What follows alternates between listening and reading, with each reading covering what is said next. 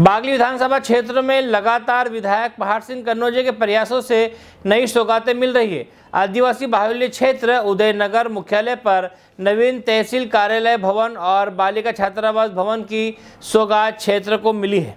बुधवार के दिन नवीन तहसील कार्यालय भवन एवं बालिका छात्रावास भवन का विधायक पहाड़ सिंह कन्नौजे द्वारा फीता काट कर लोकार्पण किया गया। इस दौरान विधायक पहाड़ सिंह कन्नौजे ने बताया कि उदयनगर क्षेत्र विकास कार्यों में काफ़ी पिछड़ा हुआ था।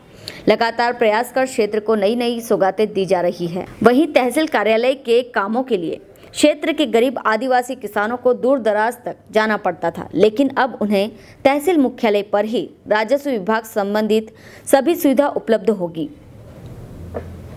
साथ ही क्षेत्र की बालिकाओं के लिए नवीन छात्रावास भवन निर्माण किया गया है। लगभग 10 करोड़ की लागत से दोनों भवनों का निर्माण किया गया है। सरकार का उद्देश्य है कि गरीब आदिवासी क्षेत्र में विकास कार्य हो और क्षेत्र की जनता को लाभ मिले। उसी उद्देश्य को लेकर क्षेत्र का कार्य किया जा रहा है। बागली से रवि पाटीदार की रिपोर्ट। तहसील कार्यालय भवन एवं कन्या छात्रावास का किया विधायक पहाड़ सिंह कनौजे ने लोकार्पण। विधायक पार सिंह कनौजे द्वारा लगातार बागली विधानसभा के अंतर्गत विकास कार्यों को प्रगति से किया जा रहा है। एक बड़ी सौगात फिर उदयनगर को मिली है। विधायक पहाड़ सिंह कनौजे के प्रयास से उदयनगर मुख्यालय पर तहसील कार्यालय का नया भवन बना है। साथ ही बालिका छात्रावास का भी नया भवन बना है, जिसका लोकार्पण बुधवार के दिन विधायक पहाड़ सिंह कनौजे द्वारा किया गया। इस अवसर पर विधायक पार सिंह कन्नौज द्वारा कन्या पूजन किया गया। वहीं रिबिन काटकर दोनों कार्यालयों का लोकार्पण किया गया।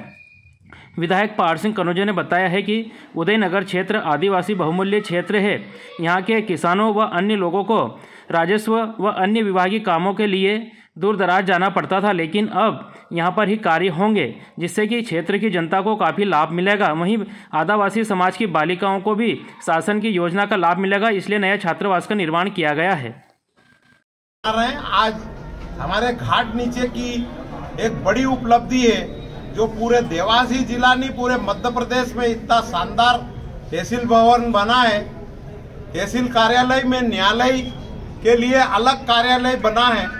नायब तहसीलदार के लिए भी एक न्यायालय रूम बना है। इस तरह से छोटे बड़े कार्यालय और ऑफ़िस सप्ताह में हमारे उदयनगर में ही चलेंगे और मैं चाहता हूँ कि हमारे इस लगभग 100 गाँव है घाट नीचे 40 पंचायत, चौवालीस पंचायत की जो लोगों को असुविधा आती जा रही थी, जिनको देवास और भोपाल का चक्कर काटना पड़ रहा था, देवास का और बागली का चक्कर काटना पड़ रहा था वो सारा समाधान हमको उदयनगर में ही मिले। ऐसा शासन की मनसा भी है और मेरी खुद की भी मनसा है।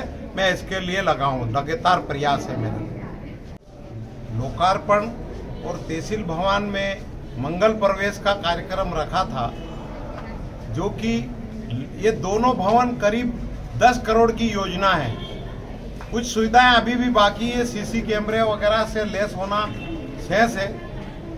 हॉस्टल में फर्नीचर और बच्चियों के लिए बेड वगैरह की कुछ कमी है, उसका भी प्रस्ताव गया है।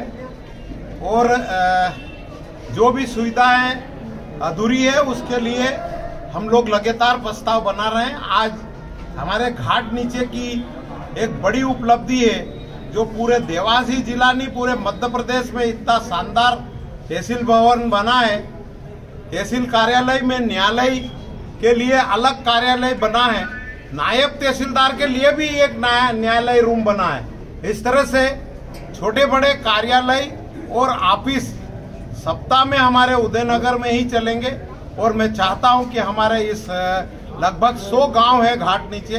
40 पंचायत, चौवालीस पंचायत की जो लोगों को असुविधा आती, जा रही थी, जिनको देवास और भोपाल का चक्कर काटना पड़ रहा था, देवास का और बागली का चक्कर काटना पड़ रहा था, वो सारा समाधान हमको उदयनगर में ही मिले।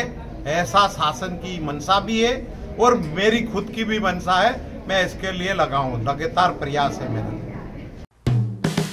हेलो फ्रेंड्स आप देख रहे हैं हमारा channel S W twenty four news हमारे सारे वीडियो सबसे पहले देखने के लिए आप हमारे चैनल को सब्सक्राइब करें और पास में लगे बेल आइकन को दबाना बिल्कुल भी ना भूलें।